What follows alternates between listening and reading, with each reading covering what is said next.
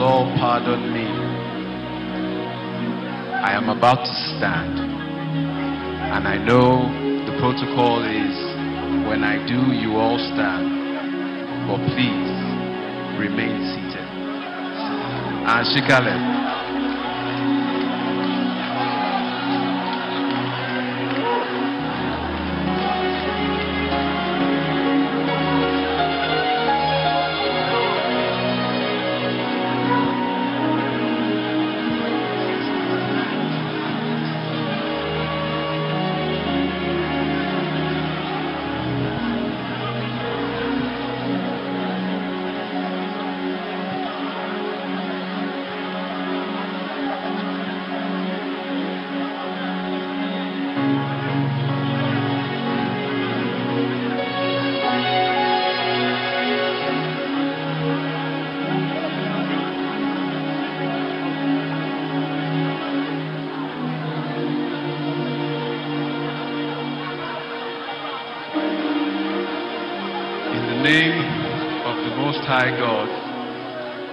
Warmly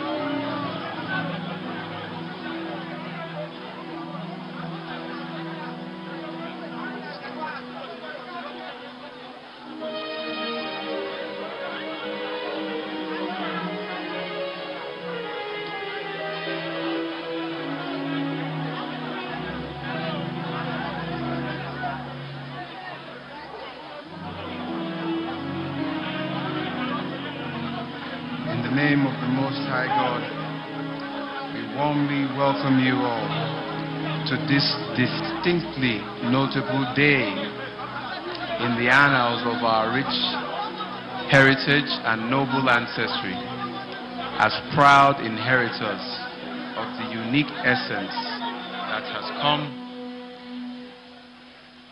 to define our Iwere kingdom. We would like to especially welcome His Excellency President Muhammad Buhari who is here represented by the Deputy Senate President. We recognize the distinguished presence of the Governor of Kebbi State, um, the representative, my apologies, the representative of the Governor of Delta State, and other traditional rulers present. Your Excellencies, distinguished ladies and gentlemen, before proceeding any further, we would like to thank Almighty God for the life and reign of our predecessor and most illustrious uncle, His Majesty Ogiame Ikenwoli in the course of his relatively brief reign, he was wholeheartedly committed to the cause of the sustained peace, growth, and development of Iwere Kingdom. His place of pride is definitely assured in the pantheon of the Shekiri monarchs and in the hearts and minds of all the Shekiri sons and daughters. May he continue to rest Fellow Itsekiri, distinguished ladies and gentlemen, we are confident that our ancestors are at this moment smiling down on us, filled with pride and joy as they see us ready and braced for the journey towards repositioning our dear Iwere kingdom within the prevailing reality of today's Nigeria and the world at large. It is our prayer that in the end we will be true, worthy inheritors of their great sacrifice and faith in a strong, progressive, united Iwere kingdom.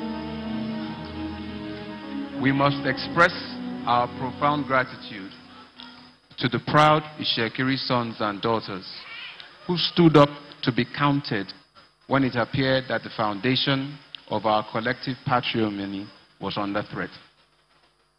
While it is not expedient to mention them on this occasion, Chief Johnson, Chief Gabriel Awala, Chief Brown Mene, Chief Roland Oritsejafor, Chief C.D. Komi, Chief Edwin Ole, Chief Robinson Ariyo, and Chief Eugene Ikomi need to be specially recognized. Dr. Gidigo. Interestingly, just before this precious, curious moment in time, which has brought us to where we are today, that age-long tendency that has always sought to distort and abort our greatness wanted to rear its ugly head in an attempt to truncate our glory and restoration to our original God-given identity. Our kingdom has experienced an unfortunate interregnum in our history that lasted for 88 years.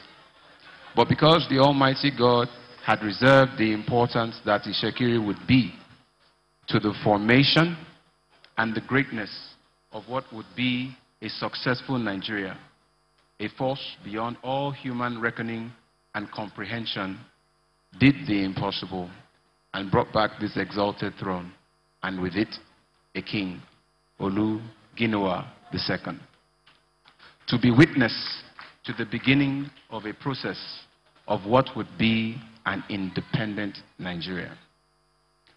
This time, however, God did not just intervene to truncate dis any disruptive plots. He ensured that the Shekiri nation stood united and all Nigeria rallied behind the Shekiri to ensure that there was no division.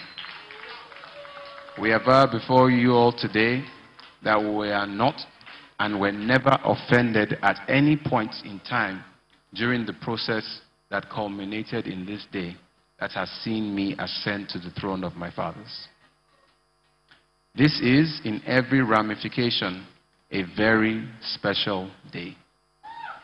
One that has been predestined and divinely ordained by the Most High God. He and He alone could have determined that three months after our Idanike began in May, our coronation will take place today, the only Saturday in this year 2021 that occurs as the 21st day of the month.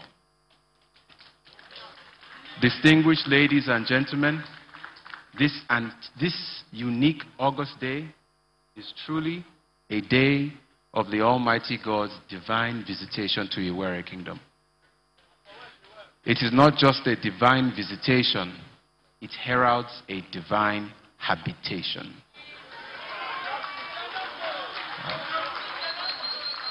There is no part of this that has been of my own doing. It was and remains God's divine project. And as a result, the mischief that some had intended, God has used it for good. Our Yoruba brothers have an expression. When the palace of the king burns down, it is because a more beautiful one wants to be erected in its place. The taboo that was done by the desecration of our most prized crown jewels made a way for a more beautiful one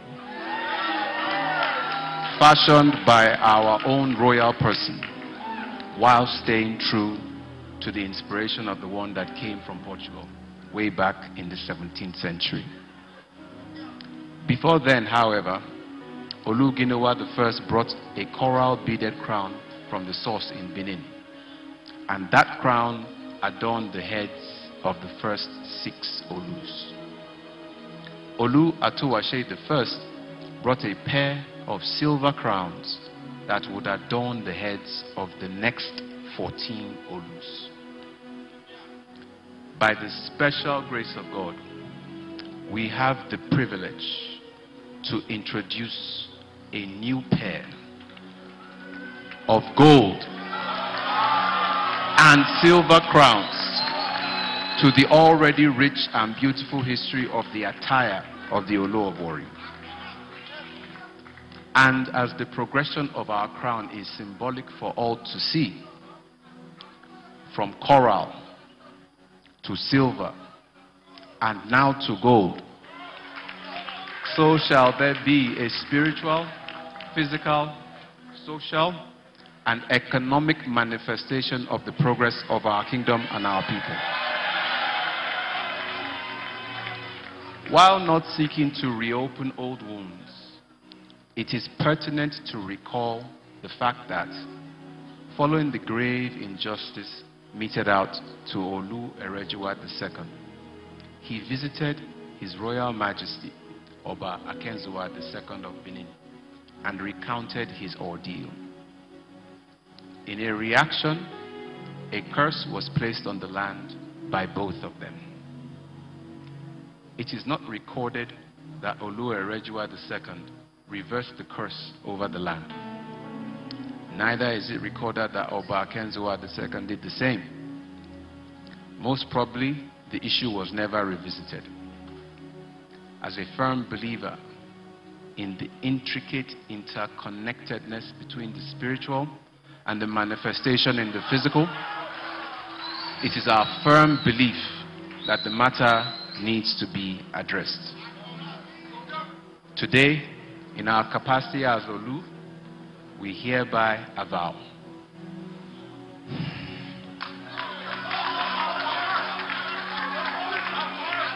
As the spiritual, cultural, political, and traditional ruler of this land, I, Ogiame Atuwatse III,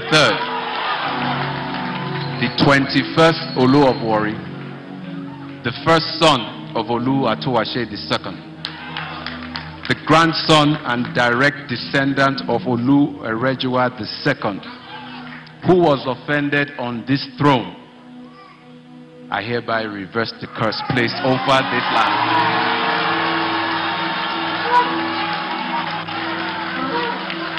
In its place, I release forgiveness and healing to the federal government of Nigeria whose might was used to propagate that offense.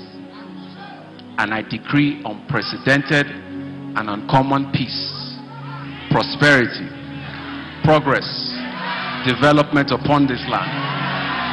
I bring down the government of heaven onto this land and I direct it to flow as a force that can neither be sabotaged, slowed, nor stopped. It goes out as a strong ripple effect emanating from this kingdom to the rest of the Niger Delta, to the rest of the Nigerian nation, and even the African continent. Africa has always been shaped as a gun with Nigeria as its trigger. Today, that gun has been fired and full restoration comes out of the barrel this land begins to yield, yield its riches to us.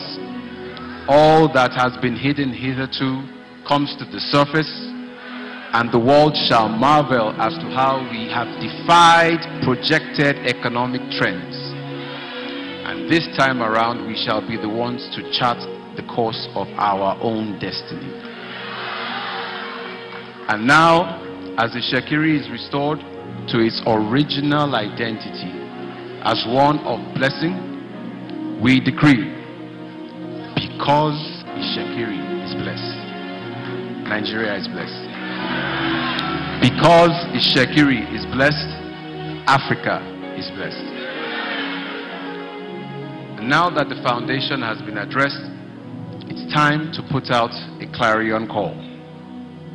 We therefore call upon and welcome back all sons and daughters of the Iwere Kingdom that are dispersed in the diaspora, in Nigeria, the rest of Africa, and all over the world. All sons and daughters of the Iwere Kingdom who identify as a Shekiri by your father, your mother, your grandfather, your grandmother. We welcome you all. Come with your capacity, your expertise, your networks, your ideas and resources to join us in repositioning this kingdom.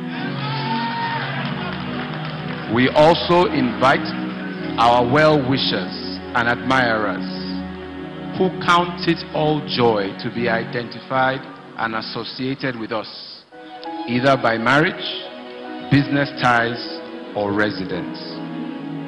We extend specially towards our neighbors, our Ijaw, Urhobo, and Ilaje neighbors, a hand of invitation to peace and development. As it is not our desire to prosper in isolation, we desire that our neighbors prosper also. We recognize that the peace and prosperity is a shared one, built on righteousness and justice, which is the motto of this our reign and the foundation upon which God's throne is built. At this point, we make bold to say that our emergence is not simply the filling of a role, we will be redefining the essence of the throne of the Olu of Warri.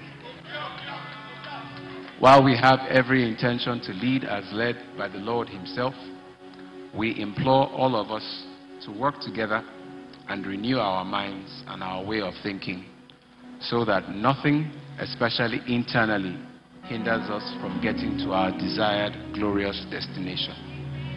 We should be ready to let go of the old ways that have not encouraged us to advance and not allow sentiments to keep us bound to launch this new renaissance today, you would have noticed that you would have noticed the crests that have been released. We have taken time based on the information available to rebrand our forebears in such a way that they define their own unique identity, reign, and destiny. As a people so proud of their royal heritage, it is our expectation that in these 20 crests, we, we will be able to further add to the pride and richness of our historical and cultural identity. At this juncture, I want to speak directly to the youths of not just the Warri Kingdom, but the entire Niger Delta. We have heard the narrative several times as to how the Niger Delta is, in term, is blessed in terms of resources. The truth, however, we must look beyond oil and gas and channel our energy in the right direction towards endeavors that will result in added value across the board. What we have is our culture and our identity, and we must use this as an instrument to influence the mind of our youth for their own development in ways that are completely devoid of partisan politics. We will look to honor our women. We will encourage them, build them up, and support them in realizing their inestimable potentials. And as we do this, we will also see the multiplier effect in the collective development of our people. We will ensure that our women, both old and young, are honored and respected, not only by word, but in actual cultural practice. We will look to actively seek the opinion and counsel of our women and opportunities that avail themselves to the Shekiri nation will be used to empower our women to enable them to contribute their substance to the growth and development of the Shekiri nation. So I say to our women today, you will no longer be invisible. I want to begin by formally honoring the two most important women in my life today. Interestingly enough, as God has ordained, one is a beautiful young lady of Edo heritage, and the other is a gracious woman of Yoruba heritage. One addresses the past, while the other addresses the present as well as the future. But as we have come to understand, time is a river. Things are intertwined, just like the complicated fabric that is the Itsekiri nation. By the special grace of God, I am the first Olu of Warri in well over two centuries whose mother is alive and well to witness him sit on the throne. In the same time span, even longer, I am the first eldest son of an Olu to ascend the throne. None of these are taken for granted. It is the perfect will and purpose of the Almighty God to make it so. Where we have unofficially addressed the mother of the Olu as Iolu, simply because she happened to be his mother. I hereby officially and formally bestow the honor on my mother.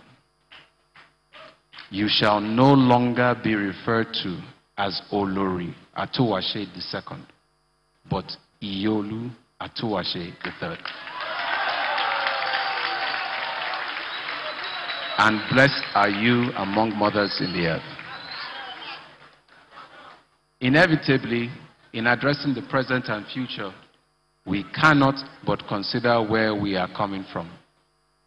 Since the arrival of Prince Ginuwa from Benin, it is not on record that any Olu has married a Bini woman, nor has any Olu been on record to have been born of a Bini woman. I distinguish between Bini and Edo for obvious reasons. Yet again, I stand before you as the first Olu in five centuries to be married to a Bini woman. In many ways, it's as though today this monarchy has come full circle. And on this note, let me share a personal story of my recently departed father-in-law, Captain Idahosa Okunbo. He was witness to a prophetic word, and he himself, unbeknownst to him, played the role of a prophet.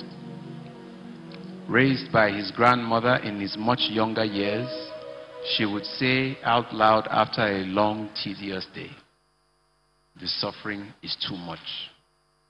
In my next life, I will come back and be inside the palace.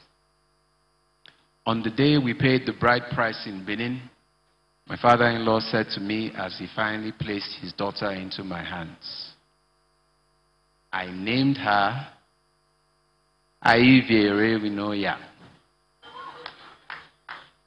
roughly translated, you don't abuse precious beads. Ivie belongs to the palace, and I, I am entrusting her into your palace. The words of his grandmother, and indeed his own words, were inspired and honored by heaven. And today, the full manifestation has come to pass. To my beautiful, loving, and supportive wife, I hereby officially and formally bestow the honor upon you. You shall no longer be referred to as Princess Ivie Emiko, but as Olori Atuwatse III. And long may we both reign. As glorious as today is, our future is even more glorious because we have the blessing and backing of the Almighty God. And with this backing comes boundaries. Whatever knowledge in form of our centuries old heritage, or whatever resource in form of our abundant natural and mineral wealth that God has given us, we will neither boast in nor depend on them. Rather, we will depend on God Himself, who has given us these things. And it is, and it is in doing what God says to us, how we follow His instructions, that we will move mightily in dominion, power, and authority. And upon this revelation shall the bedrock and cornerstone of our reign. The earth belongs to God. This throne belongs to God. This king belongs to God. And so we boldly declare that the kingdom of Warri has become the kingdom of our Lord and of his Christ, and he shall reign forever and ever. I thank you all for coming to celebrate with us this day and wish you Godspeed as you return to your various destinations. God bless Iwereland. God bless all our neighbors. God bless Delta State. God bless Nigeria. God bless Africa. Dosamba.